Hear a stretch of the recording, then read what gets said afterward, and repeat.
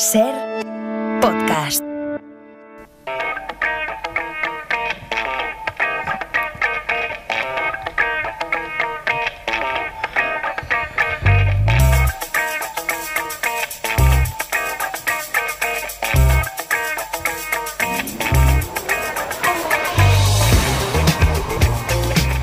Félix, hoy, hoy tenemos uno de los exámenes difíciles, ¿no? De los que más nos cuestan a, a los medios de comunicación a veces, que es Efectivamente. eh, ver la diferencia entre el homicidio y el asesinato, sobre todo explicarlo, saber si se castigan igual, cómo podemos diferenciar eh, un delito de, lesiones de una tentativa de homicidio, de un asesinato, y, luego si, el asesinato se castiga siempre con, con esa pena tan manida muchas veces cuando hay un caso muy famoso de, prisión permanente revisable.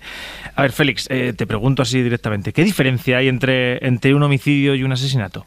Pues mira, Juan, vamos a empezar re- señalando los rasgos que tienen en común en ambos, y esto es muy fácil lo que voy a decir, ¿no? Primer, pa- en primera, primer paso, en ambos casos, un sujeto mata a otro. ¿Vale?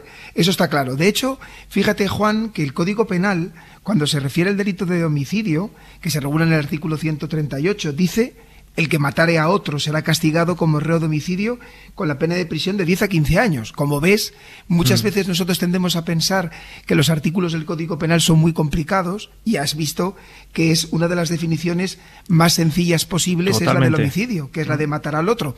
Esto también que nos quiere decir, Juan, que hay muchos conceptos sociales que coinciden con conceptos jurídicos. No solamente pasa con el de matar, ¿no? Sino también con el de amenazar. El Código Penal dice el que amenazare, o con el de secuestrar. El Código Penal dice el que secuestrare, o con el de maltratar. El Código Penal dice el que maltratare, ¿no? O sea que hay veces que lo- lo- el concepto que tenemos por, por determinados conductas se tienen su paralelo y se- y se corresponden exactamente igual en el Código Penal. Entonces, Félix, eh, ¿por qué unas conductas son consideradas asesinato y, y otras no? Vale, pe- pe- permíteme que, que- que juegue un poco con, como hago con, con nuestro querido Roberto, al que le doy un abrazo enorme desde aquí, y con Parda. Vosotros, Parda, Juan, Sí. ¿por qué pensáis que unas conductas pueden ser asesinato y no homicidio? Eh, a ver, yo entiendo que, que el, el asesinato va un poco más allá, ¿no? Tiene que haber algunos ingredientes o agravantes más por el camino. Mu- Muy bien, Juan. Me gusta mucho eh, poder hacer estas preguntas porque con esto demostramos que, fíjate tú, sin ser jurista, tienes un instinto jurídico que va mucho más allá. Y lo has, eh, lo has diferenciado efectivamente. Nuestro legislador determi- determina que hay determinadas formas de matar elegidas por el legislador y que podían haber, ser otras, y ahora las repasaremos, que merecen un mayor reproche penal y por ello las considera para agravarlo, cualificarlo como asesinato. Y, y, Félix, ¿qué, ¿qué diferencia de penas hay entre, entre unas y otras? Mira, aquí me gusta cuando tengo que explicárselo a gente que es ajena al derecho, a, a hablar, imaginemos que para subir a una planta hay cuatro escaleras, ¿vale? Porque lo mismo, hay cuatro escaleras que podemos llamar como escaleras con cuatro peldaños de la perversidad del crimen de matar, ¿vale? Tendríamos, por un lado, el homicidio, que como hemos visto se castiga con la pena de prisión de 10 a 15 años. Está el homicidio agravado, que luego lo veremos, que solamente hay dos supuestos y que se castiga, fijaros, con el salto de 15 años y un día a 22 años y 6 meses. El asesinato, que se castiga de 15 años a 25 años, que son cuatro supuestos que ahora veremos. Y por último, el, el as- el- el asesinato con pena de prisión permanente revisable, que son otros cuatro supuestos. Eh, vale, y entonces ya yendo un poco más al, al grano, ¿cu- ¿cuáles son entonces las, las, model- las modalidades de, de asesinato? Vale, pues subimos por tanto al, al siguiente escalón y habría cuatro, Juan. La alevosía, el precio, recompensa o promesa, el ensayamiento y el cometer la muerte para facilitar la comisión de otro delito o para evitar que un delito anterior se descubra. Bueno, pues vamos, si quieres, con un poco más a fondo con, con cada una de ellas. ¿Qué significa eso de, de la alevosía que escuchamos tanto, en, sobre todo en películas y, y en informativos, en, en crónica también de esta negra? Efectivamente, Juan, vamos a seguir con, con tu instinto jurídico que tienes. ¿A ti qué te suena la alevosía, amigo? Eh, no sé si algo que esté un poco más planeado o que haya una motivación extra, no lo sé. Algo así. Vas, vas muy bien, vas muy bien, te acercas, te acercas, pero no es exactamente. ¿Por qué e, en cada uno vamos a vamos a tratar de repasar, voy a tratar de repasar con vosotros el plus que se ve para grabar la condena? En la alevosía es que, el, autor, el asesino, utilice medios que le hagan más fácil cometer el delito y que a la víctima le hagan mm. mucho más difícil eh, defenderse. El ejemplo perfecto es usar un arma. Si yo para matar a otro disparo, la posibilidad de, que la víctima se defienda es prácticamente nula. Y desde luego, usando un arma de fuego, estoy facilitando mucho y si disparo a una zona vital, el, cometer el delito. ¿Vale? Con el disparo lo veis claro. Sí. Sí, sí. Vale, hay otros supuestos. Está atacar a otro por traición, eh, por tanto, eh, como es por traición, no tiene capacidad de defensa eh, la, víctima. por sorpresa, por tanto, imaginemos que una persona está por una calle oscura y de repente te, te atacan para, para, matarte. Aquí tendríamos que la víctima no ha podido reaccionar o lo que se llama por desvalimiento. ¿Mm? Por ejemplo, cuando eh, atacas a alguien que está dormido o, por ejemplo, cuando se ataca a un niño, a alguien que no tiene capacidad de defenderse. Pues todos estos supuestos de alevosía implicarían que el dar muerte a otro tendría mayor pena. O sea, la alevosía, en cierto modo, es un poco de una posición de ventaja. Eh, perfecto. Mm, Esa definición está perfecta, Juan. Una posición de ventaja. Em, vale, segundo caso, por precio, recompensa o promesa. ¿Qué te suena a ti aquí? Eh, hombre, por precio entiendo que hay algún interés eh, económico. Efectivamente, aquí hay un móvil económico, ¿vale? Eh, ya puede ser que la diferencia entre precio y recompensa es que o te lo dan antes o te lo dan después. ¿Y qué es lo que dice nuestro legislador? Lo que nos dice nuestro legislador es cuando hay un móvil económico hace más execrable la conducta y por tanto le hace merecedora de un mayor reproche penal. Eh, Por ejemplo, un sicario, ¿no? Sería eh, Efectivamente, es el ejemplo perfecto, el sicario. Eh, Pardas que Parda sabe mucho de, del crimen. Sí, o, para, cobrar una herencia, algo así, ¿no? Efectivamente, efectivamente. Vale, a ver, quiero ahora que nos detengamos en, en una noticia, te leo el titular, Félix.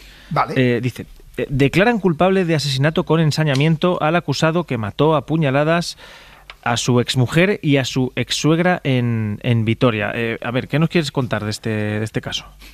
Fijaros, en este caso, en lo, que, lo que determinó el jurado y la sentencia en un, en un crimen horrible es que el autor había causado 33 cuchilladas a su exmujer y a la madre de esta un total de 38 puñaladas. ¿Vale?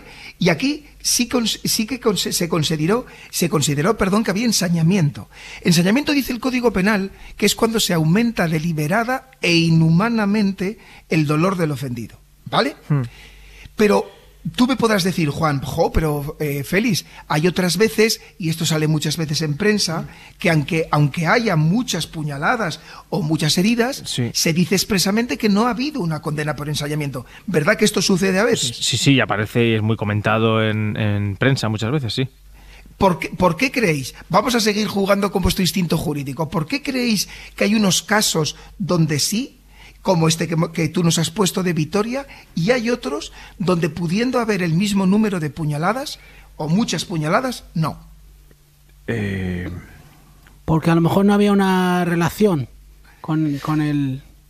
Pues fijaros, la clave está, era muy difícil, ¿eh? la pregunta que os he, os he, puesto, en lo de aumentar deliberada e inhumanamente. Es que hay, que ponerse en, en, esa posición, claro. Efectivamente, se tienen que dar los dos requisitos.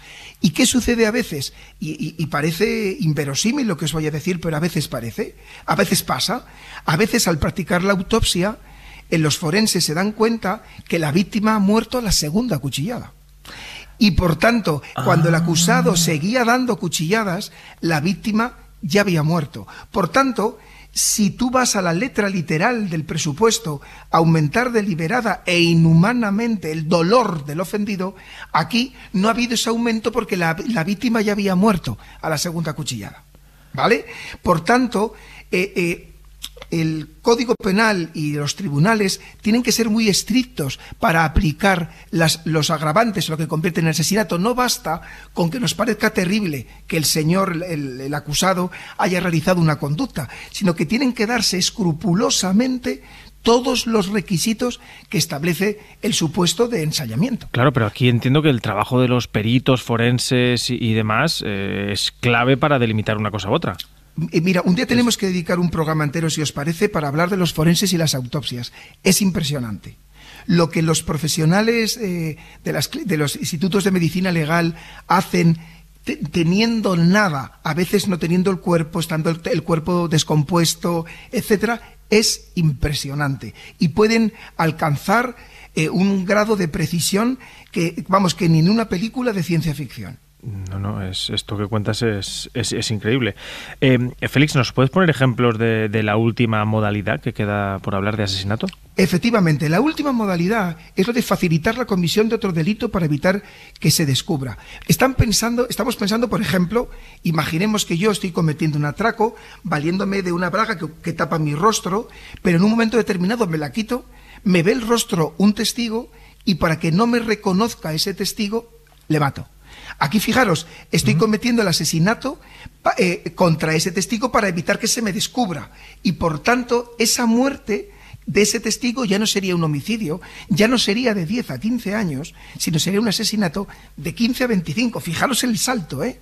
De 10 a 15 a de 15 a 25.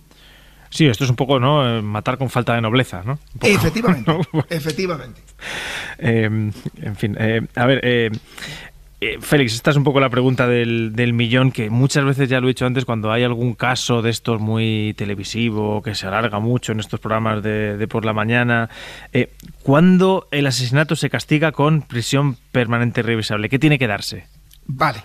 Fijaros que ya hemos ido al último escalón. Ya hemos pasado el escalón del matar, hemos pasado el, escalón de asesinar y ahora vamos a un asesinato específico. ¿Cuáles son cuatro supuestos? ¿Qué cuatro? Cuatro que ha fijado el legislador. Mañana podría decir que son cinco o que son tres, pero ahora mismo son cuatro. Y son estos, en unos donde hay un plus de enorme gravedad que hace que sea muy reprochable la conducta. Primero, que la víctima sea menor de 16 años la víctima de un asesinato, o se trate de una persona vulnerable por razón de edad, enfermedad o discapacidad. Pensemos, por ejemplo, ante un, anciano que tenga graves problemas de movilidad.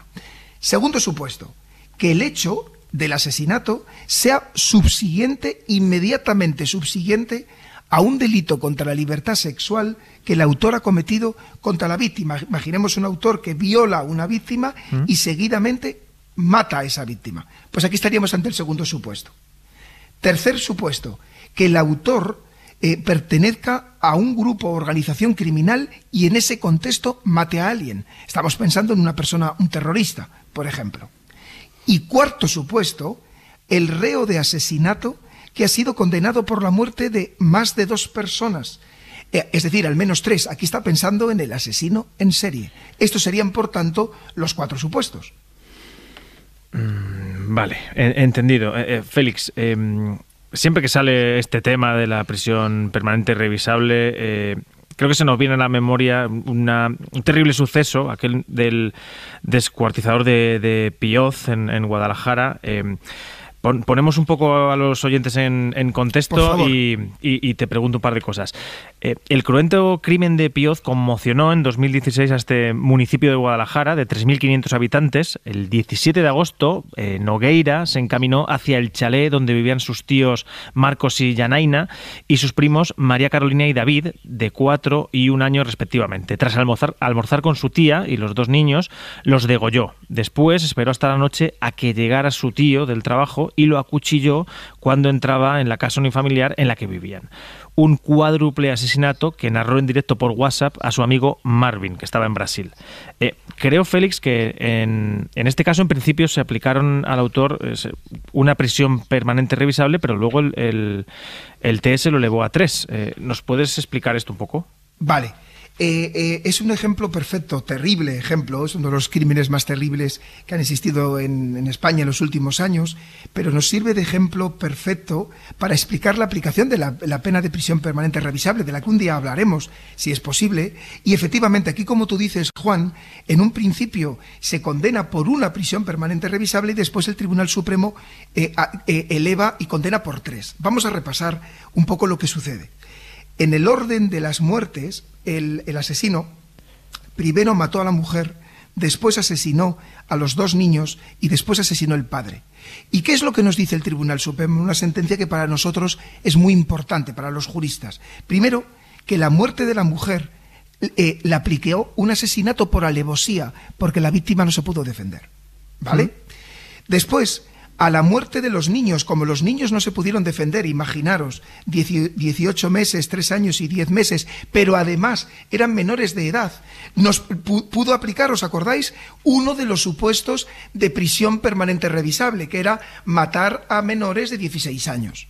¿Y qué sucedía? Que el padre fue el último en morir. Por tanto, el, acusado había matado a tres personas anteriormente. Por tanto, al padre se le podía aplicar también la, pena de prisión permanente revisable porque ya era un asesino en serie, al ser la cuarta víctima de otros, de otros tres asesinatos previos. Por tanto, por los niños y por el padre, prisión permanente revisable, y por la mujer, que había sido la primera fallecida, una pena de asesinato. Eh, Félix, eh, yo cuando intento pensar en, vuestro trabajo, en analizar estos sucesos, esto hay que ser mm, técnicamente de una pulcritud y tener un orden eh, tremendo. yo sabéis cómo, cómo, lo veo cuando me preparo un juicio de estos, como un puzzle enorme que tienes que completar, porque es que además, claro, pedir cuando un fiscal pide 25 años o prisión permanente revisable contra otra persona es una cosa muy, muy, lo suficientemente relevante como para eh, poner toda la carne en el asador. Eh, se tiene que exigir mucho y efectivamente es, es como un puzzle muy, muy complejo, pero al mismo tiempo un reto apasionante. Es que influye todo, ¿eh? el, orden de cómo se cometen los delitos, eh, la magnitud de cada uno, es, eh, a mí me parece bárbaro. Eh, por eso, ojalá haya servido, Juan, a ti, a Parda y a los oyentes, para entender, oye, que cuando se dice homicidio, o se dice asesinato, o se dice prisión permanente revisable, no es, un, no es baladí y tiene que haber una serie de rigurosos requisitos que se tienen que cumplir con la anterioridad. Pues ahí, ahí queda, ahí queda. Seguramente la presión permanente revisable seguirá saliendo una y otra vez cuando tengamos algún asesinato de estos eh, mediáticos. Eh, Félix Martín, muchísimas gracias por la, clase que nos has dado.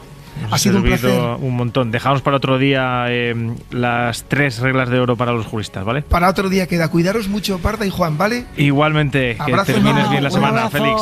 Adiós, hasta luego, chicos.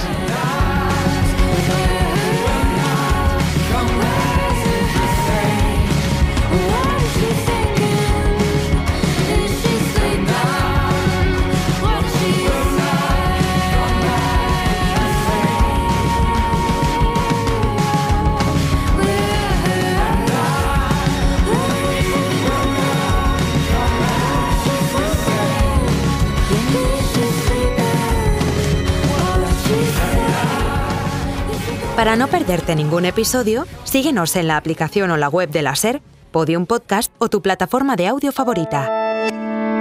Cadena SER. La radio.